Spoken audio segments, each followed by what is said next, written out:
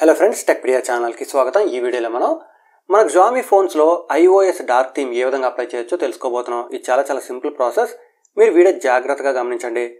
కానీ మీకు iOS dark theme కాకుండా ఇప్పుడు మీరు స్క్రీన్పై చూస్తున్నారు కదా నా రెడ్మీ నోట్ ఫైవ్ ప్రోలో ఒక డార్క్ థీమ్ అప్లై అయి కనిపిస్తుంది. మీరు సెట్టింగ్స్లో చూస్తున్నారు కదా మొత్తం బ్యాక్గ్రౌండ్ అంతా కూడా బ్లాక్గా ఉంది.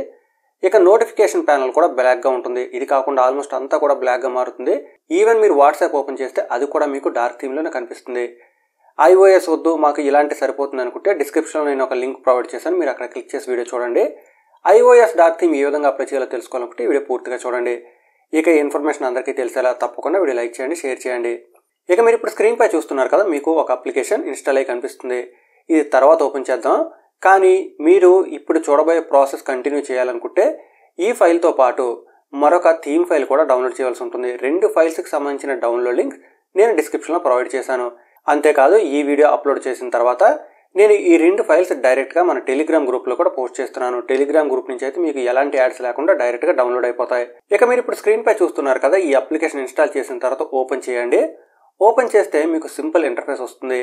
ఇక్కడ మీరు గమనించినట్టయితే ప్లస్ అని కనిపిస్తుంది అనమాట అయితే ఈ ప్రాసెస్ కంటిన్యూ చేసే ముందు నేను ఇంతకుముందు చెప్పినట్టు థీమ్ ఫైల్ కూడా డౌన్లోడ్ చేయవలసి ఉంటుంది.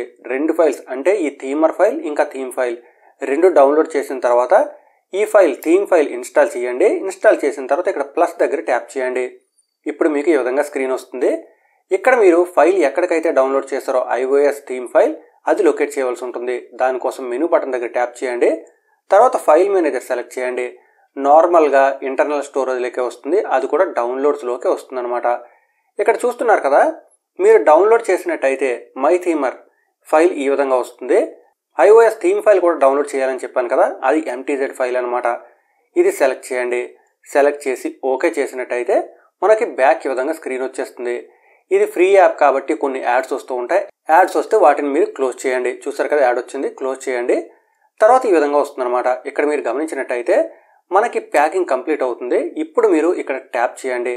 ట్యాప్ చేస్తే రెండు ఆప్షన్స్ వస్తాయి. ప్యాక్ థీమ్ అండ్ అప్లై అని వస్తుంది. అంతేకాకుండా డిలీట్ దిస్ థీమ్ అని వస్తుంది. మీరు ఫస్ట్ ఆప్షన్ సెలెక్ట్ చేయండి. సెలెక్ట్ చేస్తే ప్యాకింగ్ థీమ్ అని వస్తుంది అనమాట ఈ ప్రాసెస్ కొన్ని సెకండ్స్ టైం పడుతుంది. ఇది కంప్లీట్ అయిన తర్వాత మీకు అప్లై చేసుకోవడానికి ఆప్షన్ కూడా వస్తుంది. చూసారు కదా అప్లై నవ్వని వచ్చింది. ఎస్ బటన్ దగ్గర ట్యాప్ చేస్తే ఈ థీమ్ అప్లై అయిపోతుంది.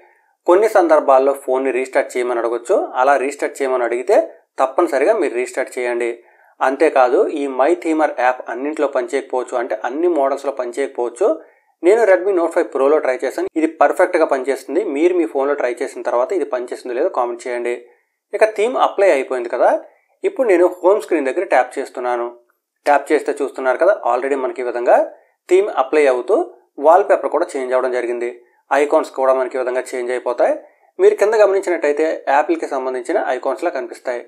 నోటిఫికేషన్ ప్యానల్ చూస్తున్నారు కదా. పాత నోటిఫికేషన్ ప్యానల్ వస్తుంది. ఇంతకుముందు డార్క్ థీమ్లో ఉండేది. కానీ ఇక్కడ ఈ డార్క్ థీమ్లో డిసడ్వాంటేజ్ ఏంటంటే ఈ విధంగా మనకి స్క్రీన్ వస్తుంది.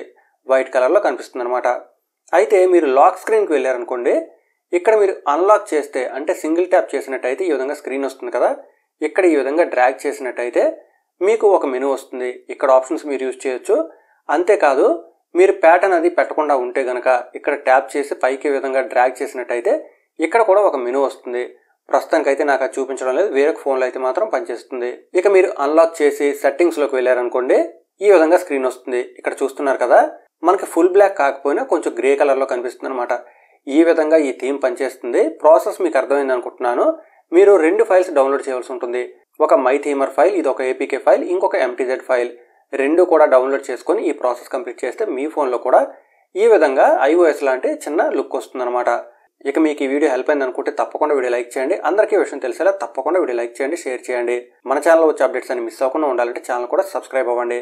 Thanks a lot thanks for watching.